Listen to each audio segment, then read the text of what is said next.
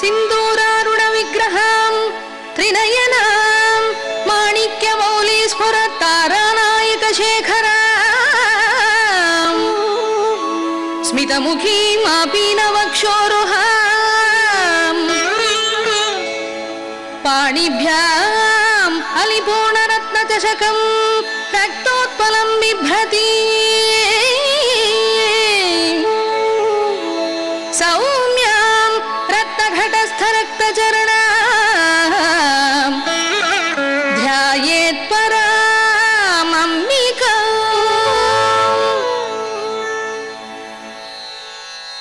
తస్మైరాజ్యం చ కోశం చ దదాత్యేవ వశం గతః తస్మై చ కోశం చ దదాత్యేవ వశం గతః రహస్య సాహస్రం యః కీర్తయతి నిత్యశః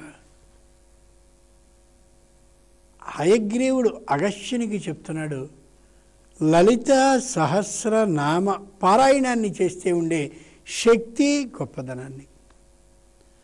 లోకంలో ఒక వ్యక్తి చెప్పేటటువంటి మాటని బట్టి ఆ మాటకి విలువ పెరుగుతుంది.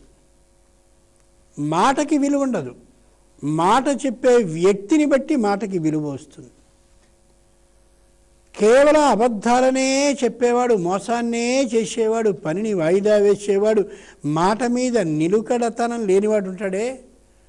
వాడు ఏదైనా ఓ మాట చెప్పినట్టయితే వాడు అలాగే అంటుంటాడు లేదు అని ఆ మాటకి విలువ తీసేస్తాం మనం. ఎందుకని? మాట చెప్పింది వాడు కాబట్టి. అదే సరైనటువంటి వ్యక్తి ఒకడు ఉంటాడు. ఆయన ఆ మాట అంటే అబ్బే అన్నది ఎవరనుకుంటున్నావు? అంటాం. ఇదం భీష్మవచ. భారతంలో మాట ఉంటుంది. ఎవరన్నారనుకుంటున్నావు ఈ మాటని భీష్ముడు అన్నాడు అంటారు. అలాగే శ్రీమద్ రామాయణంలో రామోద్విర్నాభిభాషతే రాముడు రెండో మాటని మాట్లాడాడు. చూసారా మాటకున్న గొప్పతనం ఎలాంటిది అంటే వ్యక్తిని బట్టి సంక్రమించేది. ఇక్కడ కూడా అంతే. హయగ్రీవుడు చెప్తున్నాడు ఆధారం సర్వ విద్యానాం లోకంలో ఉండే అరవై నాలుగు విద్యలు అంటే అరవై నాలుగు కళలకి ఆధారభూతుడైనటువంటి హయగ్రీవుడంతటి వాడు తన వాక్కుకుండేటటువంటి శక్తిని శబ్దతరంగ రూపంగా ఒక మంత్రంగా చేసి ఆదిత్య హృదయ స్తోత్ర మహామంత్రాన్ని చేసి రెండు మాటలు మాట్లాడడం అనే లక్షణం లేనటువంటి రామచంద్రుడికి ఉపదేశపూర్వకంగా యుద్ధరంగంలో చేసి రావణాసుర వధకి అవకాశాన్ని ఇచ్చినటువంటి అగస్త్యుడు వింటున్నాడు. అలాంటి హయగ్రీవుడు ఇలాంటి అగస్త్యుడికి చెప్తే ఆ మాట అబద్ధం అవుతుందా మనకి బుద్ధి లేనితనం తప్ప. కాబట్టి గమనించుకోవాలి. ఏ మాటనైనా కొట్టి పారేసేటటువంటి సందర్భంలో అన్నదెవరు? ఎవరితో ఏ సందర్భంలో అని ఆలోచించుకుంటే మాట యొక్క గట్టిదనం తెలుస్తుంది. తస్మై రాజ్యం చ కోశం చ దదాత్యేవ వశం గత. రహస్యనామ సాహస్రం యకీర్తయతి నిత్యశ. ఎవరైతే రహస్య నామ సాహస్రం ఈ వేయి నామాలు అమోఘమైనవి కాబట్టి అద్భుతమైన రహస్య శక్తి ఇమిడి ఉన్నవి కాబట్టి ఈ రహస్యనామాలైనటువంటి వేయి వాటిని కూడా యహ ఎవడైతే నిత్యశ కీర్తయతి నిరంతరము వాటిని స్థుతిస్తూ ఉంటాడో కీర్తయతి అంటే అది అర్థం. కీర్తన చేయడం అంటే ఓ తంబురా మీదో మరో దాని మీదో మరో దాని మీద మోగిస్తూ పాడడం అని అర్థం కాదు. కీర్తయతి నిత్యశ. లోకంలో మనకు ఒక సహాయాన్ని ఎవరైనా చేశారనుకోండి ఆయన గురించి గొప్పగా చెప్పుకుంటాం. ఆయనే ఇంకోరికి చేశారనుకోండి నాకు ఒక్కడికే కదమ్మా అతనికి కూడా సాయం చేశాడు. ఆయన ఇంకొకరికి చేశారనుకోండి మా ఇద్దరికే కాదు ఆయనకి కూడా. అలా అలా అలా అబ్బాయి ఆయన ఎంత గొప్పవాడు అనుకుంటున్నావు? అంత దానపరుడు.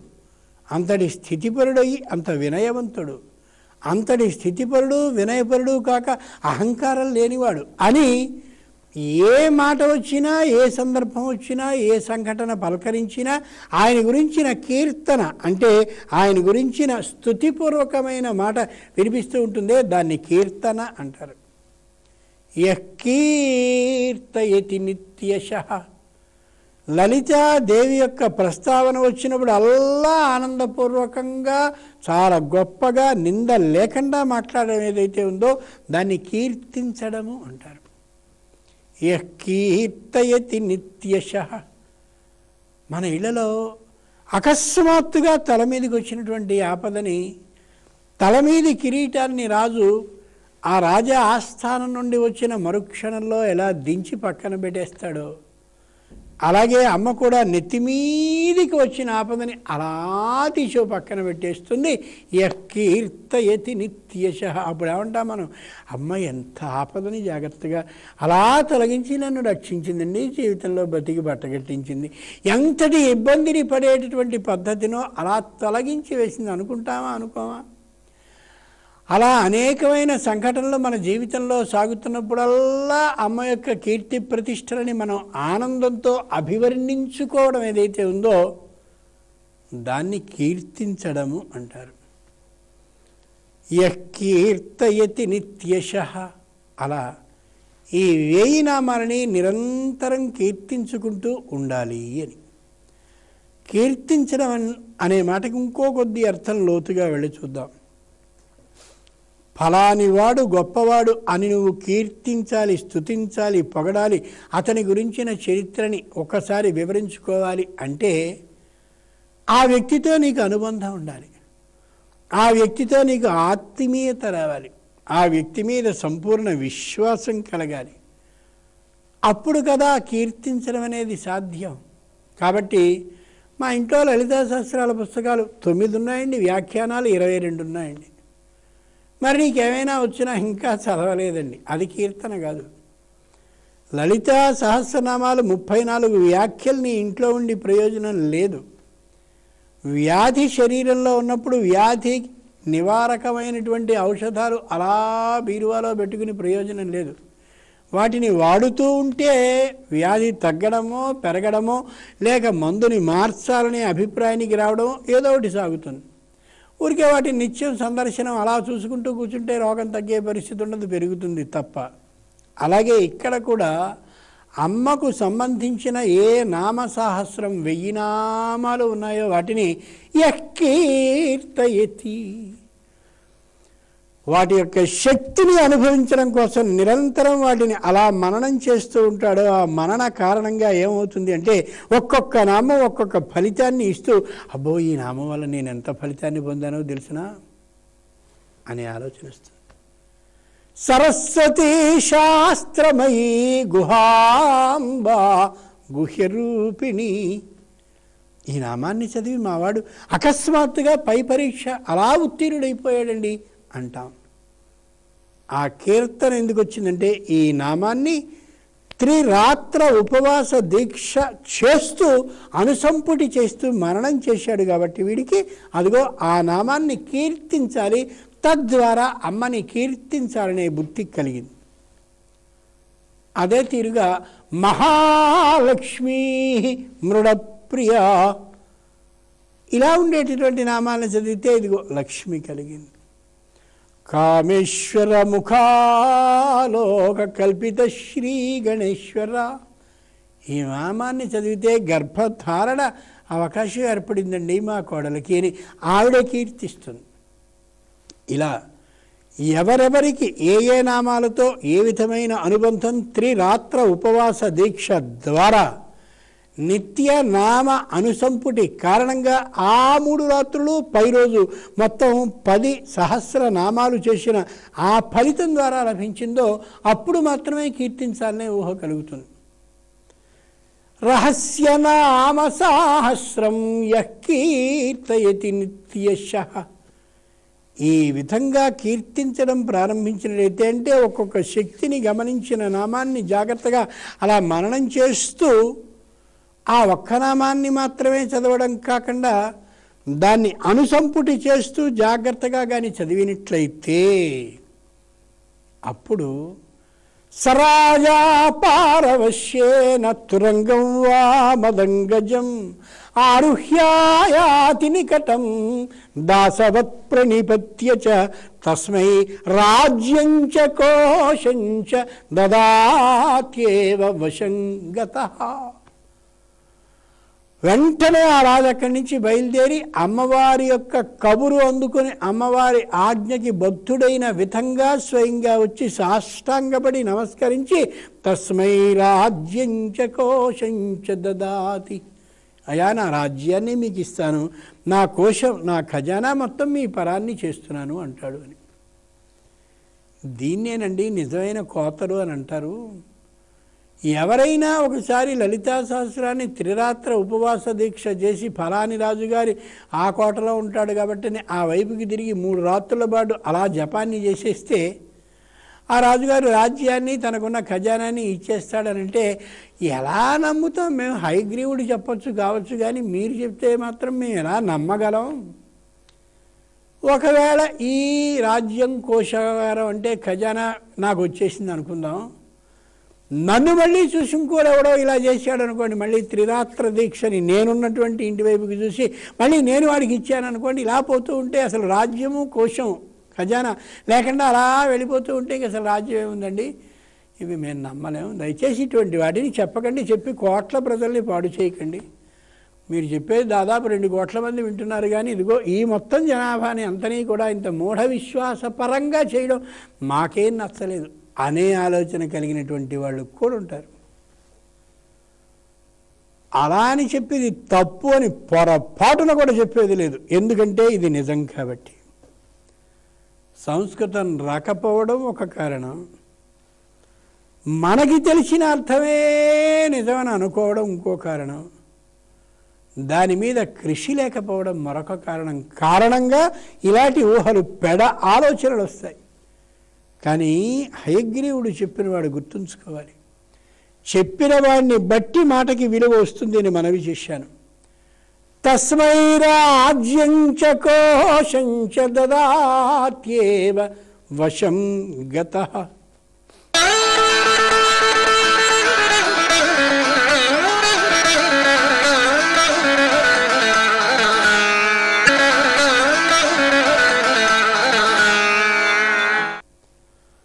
శ్రీమద్ రామాయణంలో అశ్వమేధ యాగం జరిగింది. పుత్ర కామ ఇష్టి జరిగింది. జరిగిన తర్వాత దక్షిణ ఇయ్యవలసిన పరిస్థితి వచ్చింది. దశరథ మహారాజు స్వయంగా వచ్చాడు. వాళ్ళందరినీ ఋతుక్కిల్ని పిలిచాడు. పిలిచిన వెంటనే ఈ నాలుగు రాజ్య నాలుగు దిక్కులకి సంబంధించిన సర్వరాజ్యాన్ని మీకు ఇచ్చేస్తున్నాను అన్నాడు ఆయన. శ్రీమద్ రామాయణాన్ని చదవండి. ఆ అన్నది ఏదో ముఖ ముఖం మెచ్చు అంటుంటారు తెలుగులో. అంటే అక్కడికక్కడ ఊరికే అనేయడం. ఎలాగ వాళ్ళు కాదంటారు కాబట్టి అనేద్దామని. కొంతమంది అంటూ ఉంటారు మామూలుగా పెళ్ళికి. మీరు వచ్చి మా ఇంట్లో పెళ్ళి చేయించాల్సిందే మీరు రాకపోతే ఇక మేము పెళ్ళి ఆపేస్తాం అని. ఒట్టి మాటలు ఇవన్నీ. ముఖం మెచ్చు మాటలు. అలాంటి మాటలు కాదు. నాలుగు దిక్కుల రాజ్యాన్ని మీకు ఇచ్చేస్తున్నాం అన్నాడు. వెంటనే వాళ్ళు అన్నారు రథాస్వాధ్యాయకరణే వయం నిత్యం హి భూమిప. ఏమిటయా నువ్వు మాట్లాడేది? మేం నిరంతరం వేద అధ్యయనాన్ని అధ్యాపనాన్ని చేసుకునేవాళ్ళం. అంటే వేదాన్ని చదువుకునేవాళ్ళం. వేదాన్ని చదువుకునడానికి శ్రద్ధగా ఉండే విద్యార్థులు మా దగ్గరకు వస్తే వాళ్ళకి చెప్పడమే లక్ష్యంగా కలిగిన వాళ్ళం.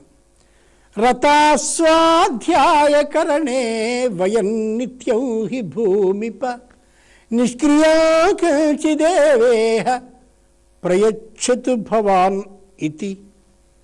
మా జీవనానికి ఏం కావలసి వస్తుందో మా ఇల్లు సుఖంగా సాగడానికి ఎంత కావలసి వస్తుందో నీకు నువ్వే నిర్ణయించుకుని అంత మాకు పంపిస్తూ ఉండు నెలల మాకు మిగిలింది వద్దు అన్నారు.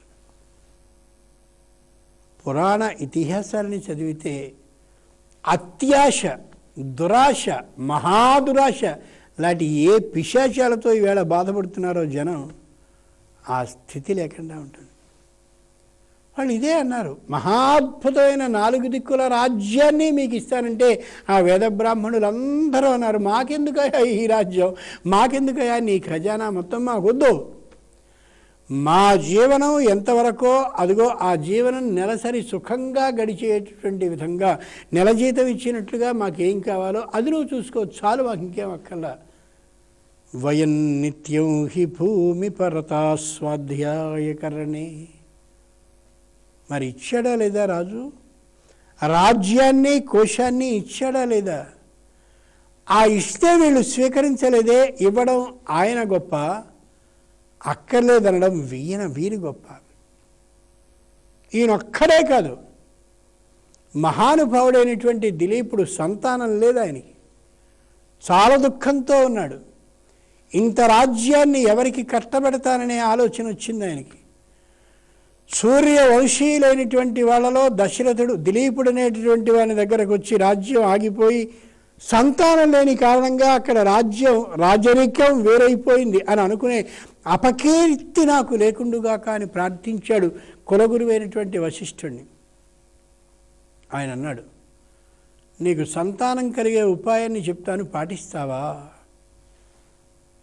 మీరెప్పుడైనా అన్నదాన్ని నేను కాదన్నానా నిశ్చయంగా అలా చేస్తానని మీకు తెలియదా? ఎందుకు ఈ ప్రశ్న అడుగుతున్నారు? అన్నాడు. వాళ్ళ మాటల్ని వింటే శరీరం రోమాంచితం అవుతుంది అలాంటి మాటల్ని వింటూ ఉంటే పైకోటి లోపల ఒకటి మధ్యలో ఒకటి చివరిలో ఒకటి మాట్లాడదామనే తల తోక లేని మాటల్ని మాట్లాడాలనే ఊహ కూడా రాదు. అప్పుడు వశిష్ఠుడు అన్నాడు అది కాదు. నేను చెప్పబోయేది కొద్ది కఠినమైనటువంటిది. అంతకాలం పాటు అలా చేయవలసింది సాధ్యమవుతుందా అనే అభిప్రాయం కోసం నేను ఈ మాటని ముందన్నాను. ఓ సంవత్సరం పాటు రాజ్యాన్ని విడిచేసి గోసేవని నీ భార్యతో కలిసి నువ్వు చేయగలవా? ఆవుని మేపడం ఆవుని పొద్దున్నే తీసుకెళ్ళడం సాయంత్రానికి తీసుకురావడం. అది గోసేవ. ఆవుల్ని మేపేవాడు మీ వెంట ఉండడు. మీరే ఆవుల్ని మేపాలి మీరే ఆవుని తీసుకురావాలి. ఆవుల్ని మేపేటటువంటి వాడు వెనకాల వస్తూ ఉంటే మీరు వాడు వెనకాల అలా తిరుగుతూ రాజలాంఛనాలతో వెడితే అది గోసేవ కాదు. ఆవు పేడ వేస్తే పేడ ఎత్తాలి. ఆవు పడుకుంటే పడుకోవాలి. గడ్డితో తోమాలి శుభ్రంగా ఉంచాలి. అది తిరిగి వచ్చినటువంటి వేళ కొమ్ముల మధ్యలో చక్కగా పుష్పహారాన్ని కట్టినటువంటి నీ భార్య నుదుటికి చక్కనటి బొట్టు పెట్టి ఆ కొమ్ములకి పసుపుని రాసి హారతి ఇచ్చి ఆహ్వానించి లోనికి తీసుకురావాలి. ఇవన్నీ చేయగలవా? నిశ్చయంగా చేస్తానన్నాడు దశ దిలీపుడు. కారణం తనతో ఆ రాజ్యం అక్కడ ఆగిపోకూడదని వంశం ఉండి తరువాత సూర్యవంశం నిర్వంశమైందనే మాట ఉండకూడదని పితృపితామహులకి ఈ విధమైనటువంటి దురదృష్టకరమైనటువంటి అపఖ్యాతి కలగకూడదు అపకీర్తి ఉండకూడదని అన్నాడు. వెంటనే దిలీప మహారాజు తనకున్నటువంటి రాజ్యం మొత్తాన్ని తీసి ఆపద్ధర్మ ప్రభువుగా వశిష్ఠుని నిర్ణయించి రాజ్యం దీయతే తుభ్యం. అయా రాజ్యం నీకు ఇస్తున్నా కోశేన సహా. మొత్తం ఈ కోశంతో సహా ఇస్తున్నా తీసుకో. ఎంత ఆశ్చర్యం.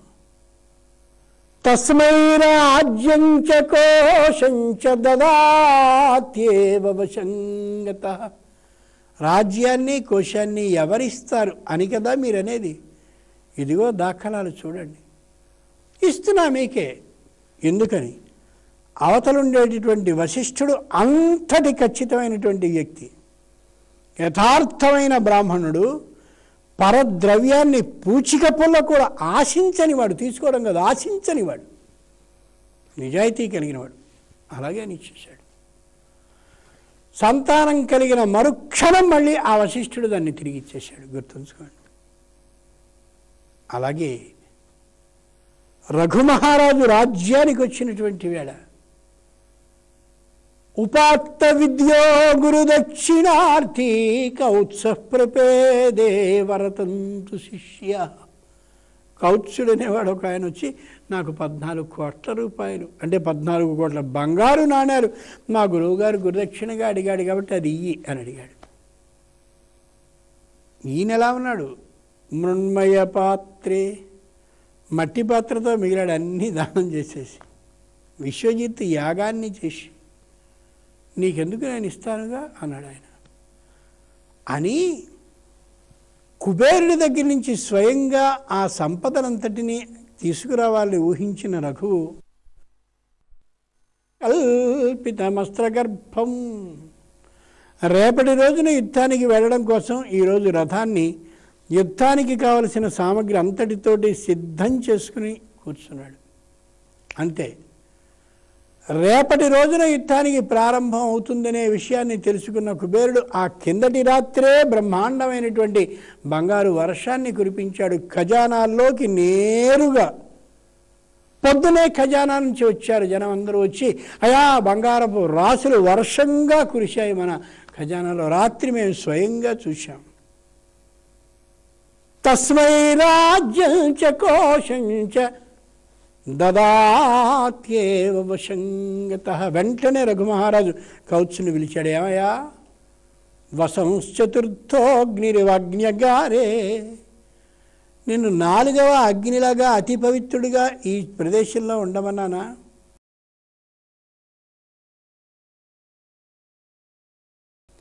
నీకు స్వయంగా ఇస్తున్నా.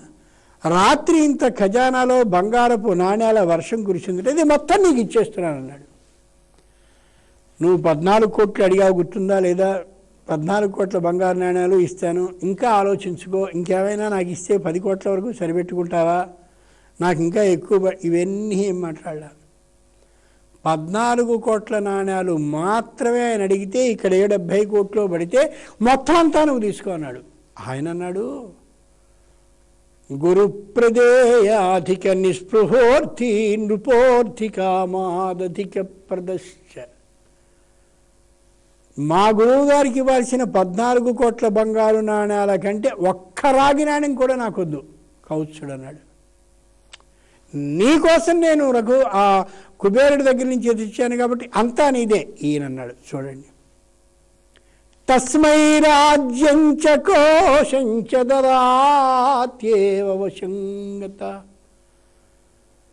కాబట్టి రాజులు రాజ్యాలని కోశాలని ఇచ్చిన సందర్భాలు అనేకం ఉన్నాయి. మనం ఈ కాలంలో అవసరానికని చెప్పి ప్రాణం పోయే వేళలో సొమ్ము తీసుకుని ఎగ్గటేస్తున్నాం తప్ప ఈ దౌర్భాగ్యపు బుద్ధి పూర్వం వాళ్ళకి లేదు. మనలానే అందరూ ఊహించుకుంటే ఎలాగా? అదే అన్నాడు స్వయంగా. హనుమంతుడు రావణాసురునితో నీకు నీ సోదరులతో విరోధం ఉంది. అలా అని చెప్పి అందరూ వాళ్ళ సోదరులతో విరోధం ఉన్న వాళ్ళే అయి ఉంటారని అనుకోకు అని.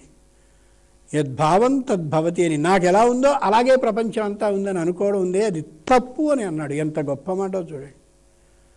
కాబట్టి రాజ్యాన్ని ఖజానాని ఇచ్చేస్తారంటే ఎలా నమ్ముతాం అని అనద్దు. ఇచ్చిన వాళ్ళు ఉన్నారు. వద్దన్న వాళ్ళు ఉన్నారు స్వీకరించిన వాళ్ళు ఎవరు లేరు. ఆ మంచితనం దానికి కారణం.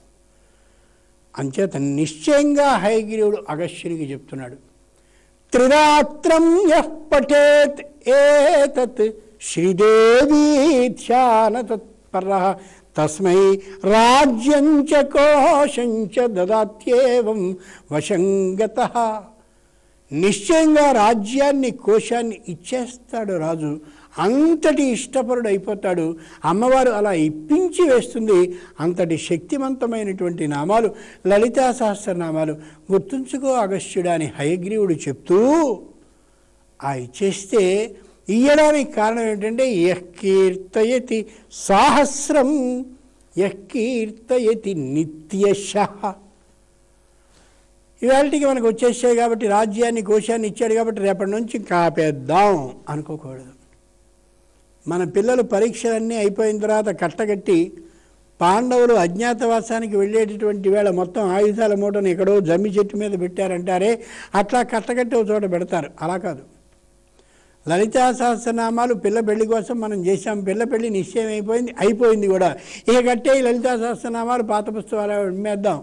పాత పుస్తకాల వాడికి అమ్మేద్దామంటే నేరం. యః కీర్తయతి నిత్యశ. అలా చదువుతూనే ఉండాలి. ఎందుకని? కృతజ్ఞత అంటే చేసిన మేలుని గుర్తుంచుకునే తనం ఎప్పుడు అంటే పని అయిపోయిన తర్వాత. ఆ యథార్థాన్ని ఎప్పుడూ మర్చిపోకూడదు. చాలామంది లోకంలో పని అయ్యేంత వరకు చదివేసి పని అయిపోయాక మానేస్తారు. భాగవతంలో కుచ్చేరుడు తన ఇల్లంతా బ్రహ్మాండంగా అద్భుతంగా రాజ సౌధానికి మించి కలకలలాడిపోతుంటే ఐశ్వర్యంతో అక్కడి నుంచి గబగబా వెళ్ళి శ్రీకృష్ణుడికి నమస్కరించి వచ్చాడు. ఎందుకని? నీ వల్ల ఇంత కృతజ్ఞ భావం కలిగినందువల్ల ఇంత దాసదాసీ జనంతో ఐశ్వర్యమయం అయిపోయిందయ్యా అని. అది కృతజ్ఞ భావం అంటే. అంచేత రాజ్యాన్ని కోశాన్ని ఇచ్చిన వాళ్ళు ఉన్నారు ఖచ్చితంగా లభిస్తుంది ఇది లలిత దేవి అనుగ్రహం తప్ప వేరు కాదని హరిగ్రీవుడు అగస్త్యునికి తెలియచేస్తున్నాడు. శ్రీమాత్రే నమః